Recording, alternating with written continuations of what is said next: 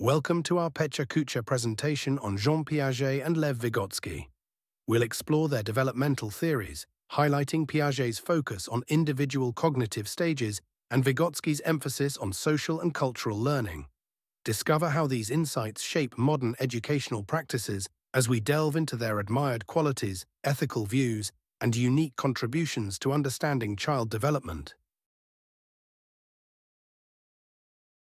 Piaget's pioneering spirit and willingness to challenge conventional wisdom led to a profound understanding of child development, empowering educators to create student-centered, active learning environments that tailor instruction to individual needs. Vygotsky emphasized the importance of social influence on cognitive development. Thus, he believed that more knowledgeable others need to provide guidance or modeling and attach the meanings to objects, events, and experiences. That is, Vygotsky's theory encourages collaborative and cooperative learning. Scaffolding and reciprocal teaching are the keys to his learning styles.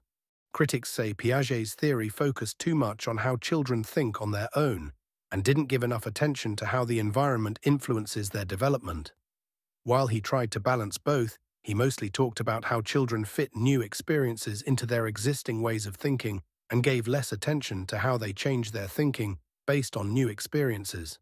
This made his theory seem more about built-in traits than about learning from the world around them. A criticism of Vygotsky's theory is his emphasis on the active construction of knowledge and language development. He emphasized that children actively learn about social cultures with the help of adults and acquire knowledge, including languages. However, some learning also occurs passively or without much support from others. Furthermore, sometimes the acquisition is slow despite the support children get. Piaget's commitment to integrity led him to champion active learning. He believed in children's innate ability to construct their own understanding through hands-on exploration and discovery. Piaget emphasized that learning should not be a passive absorption of information, but an active process where children engage with their environment to build knowledge independently. Vygotsky emphasized the importance of culture, children's relationships with others, and the zone of proximal development, the gap between what children can achieve independently and what they can accomplish with guidance or collaboration from adults or more capable peers. This concept best exemplifies Vygotsky's theory as it highlights the role of the more knowledgeable other in children's learning, closely tied to the influence of cultural context. Looking through the lens of respect, Piaget's value for children's independent thinking was evident in his careful listening, treating them as active thinkers while observing their actions and engaging in meaningful conversations to understand their perspectives. Looking through the lens of respect, Vygotsky's emphasis on culture and social interaction underscores the importance of valuing each child's unique cultural background and the role of collaborative learning. This approach highlights how children develop cognitive abilities through respectful, guided interactions with more knowledgeable others, fostering an environment where diverse perspectives are appreciated and integrated into the learning process. Piaget is famous for saying, knowledge is derived from action. This means that children learn through active interaction with their environment, constructing knowledge by coordinating their actions.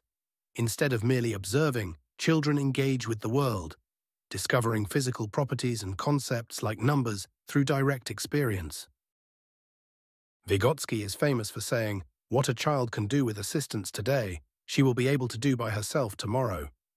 Vygotsky believed the zone of proximal development was the most effective way of learning because it involves essential student-teacher interaction, guiding learners toward independent achievement. Piaget's key words, schemas, constructivism, and egocentrism, describe children as active thinkers who use mental frameworks to integrate new information, often focusing on their own perspectives. In contrast, Vygotsky's key words, social, interactive, and cultural, emphasize that cognitive development is driven by social interactions within cultural contexts and guided by more knowledgeable others. Piaget's work is valued for promoting autonomy in learning. He emphasized that children should actively engage in the learning process, constructing knowledge independently through exploration and hands-on experiences. This approach encourages children to think critically and develop problem-solving skills, fostering independence rather than relying solely on direct instruction. Vygotsky's work is valued for promoting collaboration in learning. He emphasized the importance of supportive, scaffolded interactions between more knowledgeable individuals, such as adults or peers, and learners. Through this collaborative process, learners can accomplish tasks they could not achieve alone, gradually gaining skills and understanding. This approach highlights the role of social interaction in cognitive development, fostering cooperation and shared problem-solving, which contributes to both learning and overall well-being. Piaget was right to highlight the importance of children's active construction of knowledge as the foundation of cognitive development, even if his stage theory may not fully capture the nuances of this process. Vygotsky was correct to emphasize the crucial role of social interaction and cultural tools in shaping cognitive development, as evidenced by the enduring influence of concepts like the zone of proximal development and scaffolding in educational theory and practice. Piaget and Vygotsky both acknowledged the role of social interactions in learning, but differed in emphasis. Piaget viewed development as universal, sequential, and independent of social context, whereas Vygotsky believed cognitive development varied across cultures, with social interactions and language playing a fundamental role in learning. Piaget's emphasis on the child's active construction of knowledge, their progression towards moral autonomy, and the importance of cognitive conflict for development suggests that individual autonomy serves as the foundation for his ethical framework. Vygotsky emphasized the role of culture and social interactions in children's learning, suggesting that cognitive development initially occurs on a social level through interactions with others before being internalized on an individual level. In conclusion, our exploration of Jean Piaget and Lev Vygotsky's theories reveals their shared belief in active knowledge construction while highlighting their distinct approaches.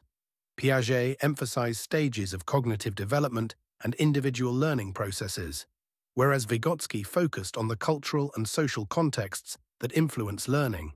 Together, their insights have significantly shaped educational practices, offering valuable perspectives on how children learn and grow in diverse environments.